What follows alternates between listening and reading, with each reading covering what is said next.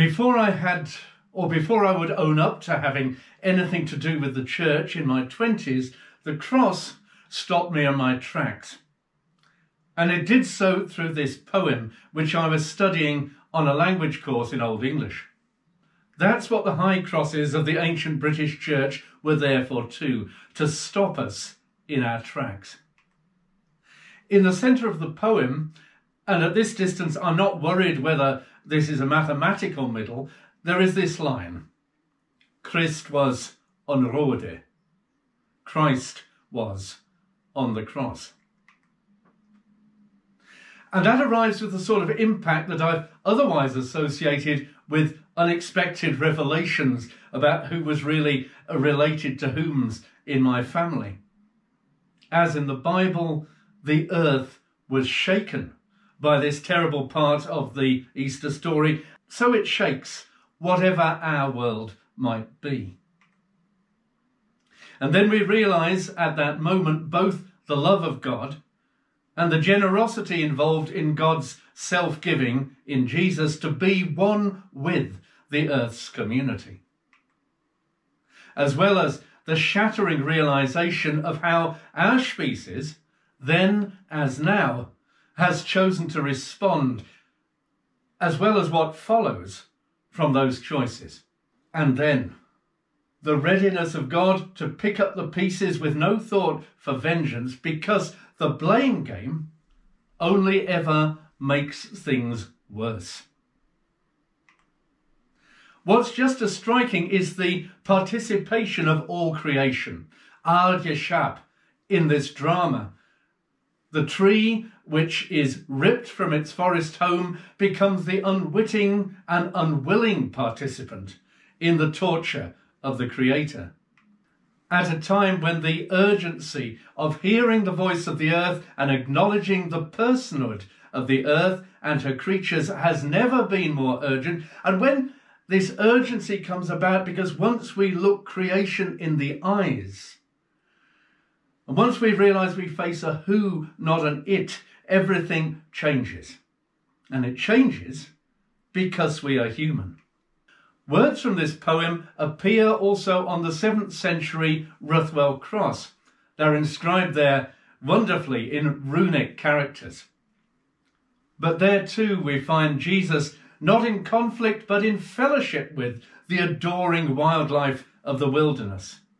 In the place without people, the harmony of God and creation becomes apparent. Though we shouldn't imagine we have no place, no job to do, in the management of life. We are not stewards of a soulless property, but we are responsible partners with Christ. We are creatures with a place and purpose amongst the other creatures of God's covenant. And Jesus Christ, made one with the tree, with the cross, is the key, the way both to hope and a better life for the world. And if we haven't met him yet in the easy times, perhaps we might notice, after all, when change overtakes us and faith and the communion of creation is revealed as the lifeline for us and for the world that God so loves, as we see in the poem.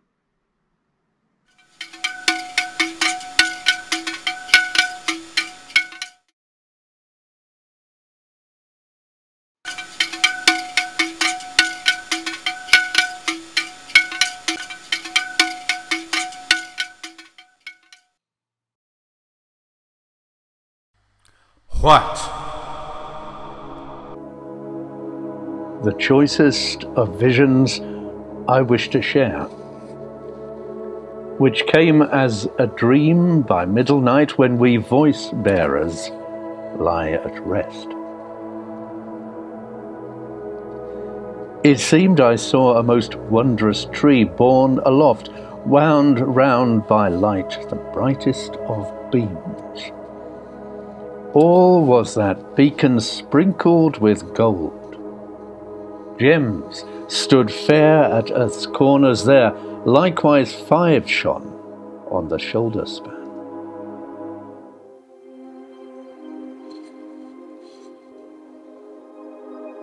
All there beheld an angel of God. Feira through Fortgeschaft, fair through foremaking. Indeed, this was no wicked one's gallows, but holy souls beheld it there. Men over Molden, people over the earth. And all this great creation, honoured with trappings, shining with joys, decked with gold, gems had wrapped that forest tree worthily round. Wondrous that victory beam, yet I, stained with sins, with wounds of disgrace, I saw the tree of glory. I saw the tree of glory.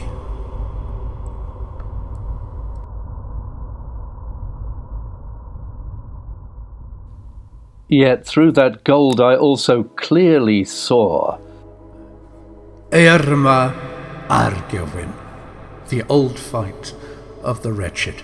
When first the tree began to bleed on its right side, with sorrows most troubled, I feared that fair sight. And yet I saw that doom beacon turn trappings and hues, sometimes with water wet, drenched with bloods flowing, betimes with jewels bedecked. But lying there long while, I beheld Rio Kerg, Helender's trio. Troubled, I beheld the healer's tree.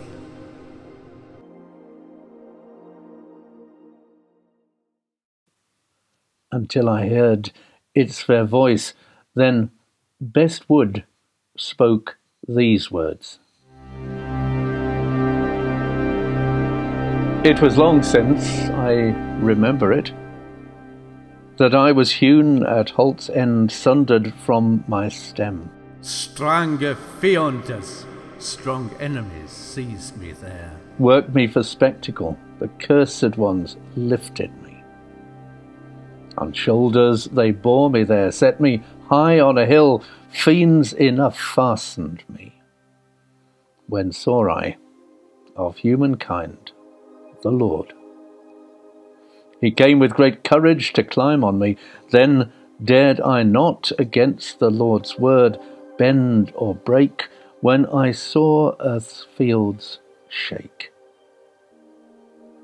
All those fiends I could have felled, but I stood fast the young hero stripped himself, he, God Almighty, strong and stout minded. He mounted high gallows, bold before many, for he would liberate your kind.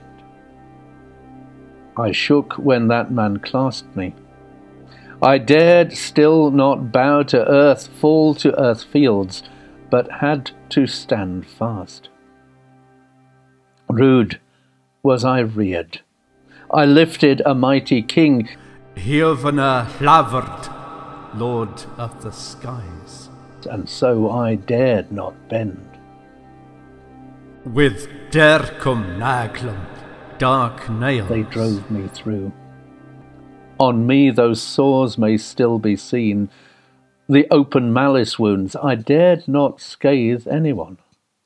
They mocked us both we two together, all wet with blood I was, poured out from that man's side, after ghost he gave up.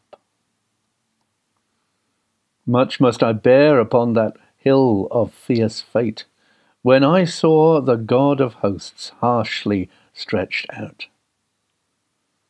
Darknesses had wound round with clouds the corpse of the wielder. Bright radiance when a shadow went forth, dark under heaven. And way up all Geschäft, all creation wept. Way up all Geschäft, all creation wept. Christ was on Rode. Christ was on the cross.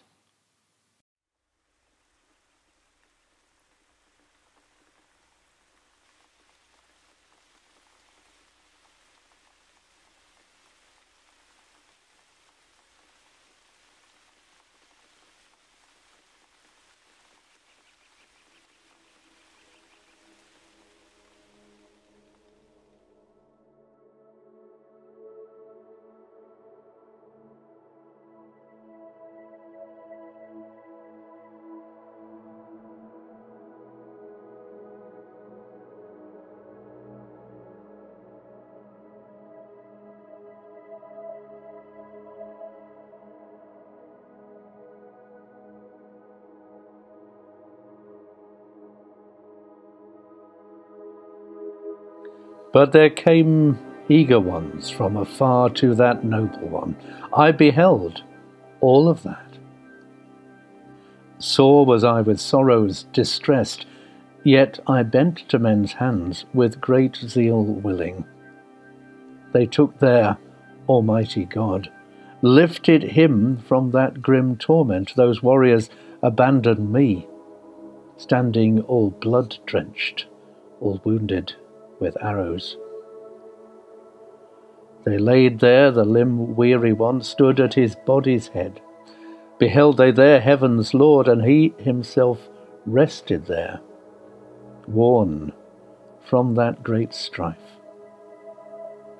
There they worked him an earth house, bold in the slayer's sight, carved it from bright stone, set inside the wielder of victories. Then they sang him a sorrow song, sad in the eventide, when they would go again with grief from that great Lord. He rested there in small company. But we there, lamenting a good while, stood in our places after the warrior's cry went up. Corpse grew cold, fair life dwelling then someone felled us all to earth. That was a dreadful fate. Deep in a pit one delved us. Yet there, lords, thanes, friends learned of me, adorned me with silver and gold.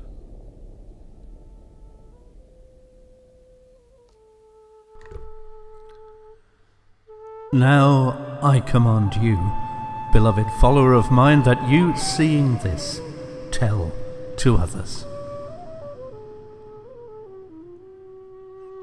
Discover with words that it is glory's beam which Almighty God suffered upon for your manifold sins, and for the ancient ill deeds of Adam. Death he tasted there, yet God rose again by his great might a help unto you. He then rose to heaven, and again sets out hither into this middle earth, seeking your kind. On doomsday, the Lord Himself, Almighty God, and with Him His angels, when He will deem, He holds power of doom he asks before multitudes where that one is, who for God's name would gladly taste bitter death, as before he on the beam did.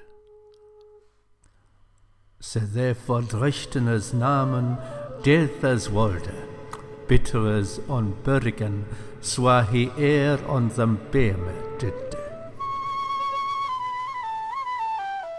May he be friend to me, who here on earth earlier died, on that gallows tree for our sins. When their wielder came, Almighty God, where his homeland was.